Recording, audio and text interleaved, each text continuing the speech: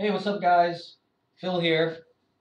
And this video is just a quick view of the Unreal Engine and converting one of their free assets that they're, that's found in the marketplace uh, that you can convert to virtual reality very quickly using their blueprints system um, on the Unreal Engine editor. So I'm actually very new to the Unreal Engine and I literally just learned it uh, about three weeks ago, so it's still very fresh. However, because I've had the, the time to be able to explore some of the things that you can do with the Unreal Engine, I can tell you right now I'm looking forward to exploring and developing more skills and knowledge on using a lot of the tool sets because there's a lot of different capabilities that can be done. So what you see here in the viewport in in the Unreal Engine editor is actually one of uh, is is the asset uh, called Soul Slum. And if you're not familiar with the Un Unreal Engine, uh, what you see here, uh, this glowing green area, um, is called a nav mesh, and it's part of one of the, the volumes classes. I want to say the classes that they have, um, and that's this is essentially the area that the player or um, the AI can travel through on on the map. And the actual the actual map for for this asset is is quite large, and there's only a certain amount of area that I was able to uh, to successfully uh, travel uh, or successfully create the, the nav mesh so that you could travel through it.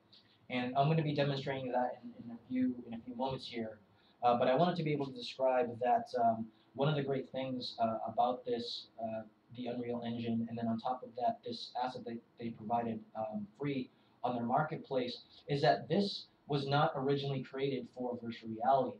And from my understanding, this was a demonstration that they provided at a convention back in 2012 um, to show the capabilities for mobile applications like a phone. Um, so, so what's what's interesting, and I think part part of the reason why it performs really well using um, a virtual, a virtual reality headset like the HTC Vive, which is the one that I that I have set up right now, um, is that the, the performance capabilities and being able to experience, you know, what they created here in virtual space, and then being able to um, to do and to be able to apply um, virtual reality to it very quickly is really quite amazing, and um, it really just encourages me to to want to learn more about uh, being able to create experiences that that people can uh, that other people can experience other than uh, myself.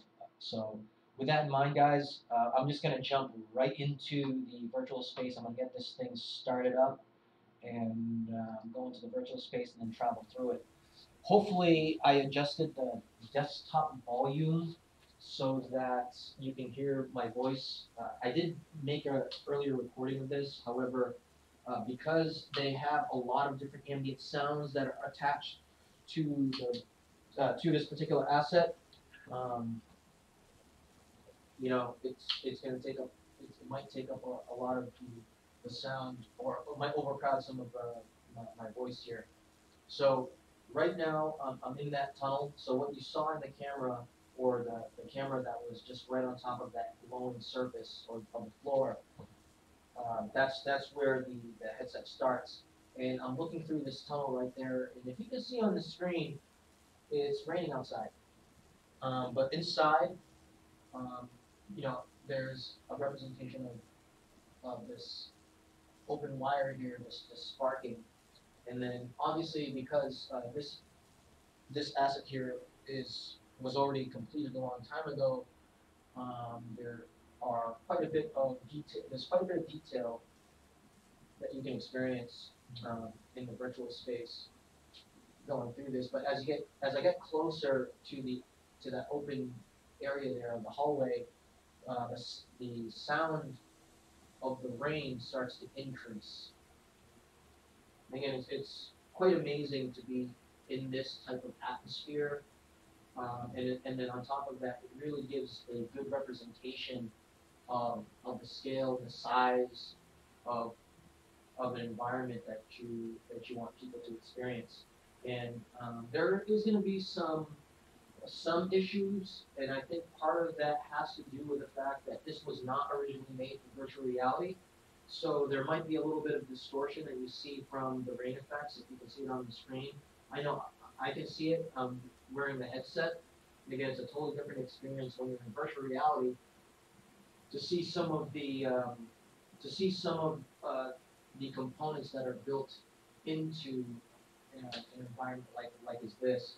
But regardless of some of the strange artifacts or distortion that you see on the screen, it's absolutely incredible to get a sense of what the engineers and and uh, artists have really put together. Not only are is this just looks absolutely sprawling and beautiful, um, but you really get a sense of scale, like how big this city is just from where you are. Um, there are some scaling issues, like these stairs look very tall, uh, probably made for a giant, but again, uh, I think part of the reason for that, um, when, when this was being put together originally, was that it was made for mobile, so some of the, you know, some of the areas just might look a, a little strange because of, uh, because of that simple fact.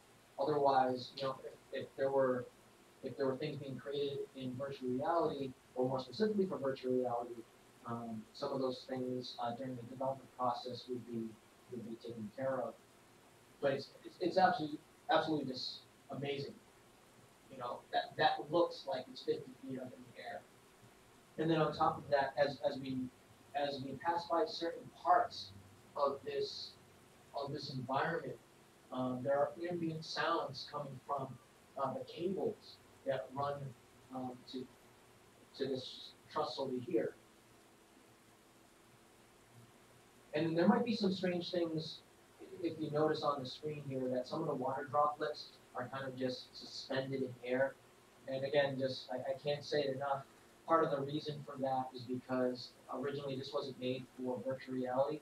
So some of the effects that were included in this experience um, was originally intended, and it might have, uh, you know, might not have been, uh, uh, you know, looked at because because uh, because the experience was a little bit different um, if you were to navigate through uh, through the cityscape here. So just kind of keep that in mind. So there, there is a little bit of distortion on the walls in certain instances uh, from angles. And again, I think that's just a, a combination of it wasn't applied to this originally was not applied to virtual reality. But regardless, regardless of those, I mean, you can't deny how incredible this is. I mean, the the steam or the smoke coming from that pipe, you know, occupies a certain volume of space, and it's just, it's there. It looks, it looks absolutely amazing. It really gives you a sense of atmosphere or a sense of presence that you are in this city.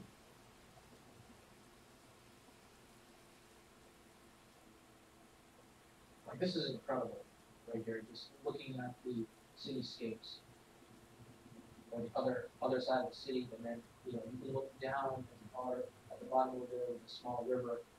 I mean this was set up very well for sure and I'm very pleased to be able to show that that that with something like the Unreal Engine, you can essentially convert um, convert existing assets into into environments that you can travel through in the virtual space, and it's absolutely just a stunning experience. It okay. So I'm here, I'm entering this area, and as I enter the area, the ambient sounds from the outside with the rain starts to decrease, and there are different sounds here, and obviously you can see in this environment that there is some artificial lighting that also projects um, into onto my you know, onto my uh, representation of hands in the virtual space.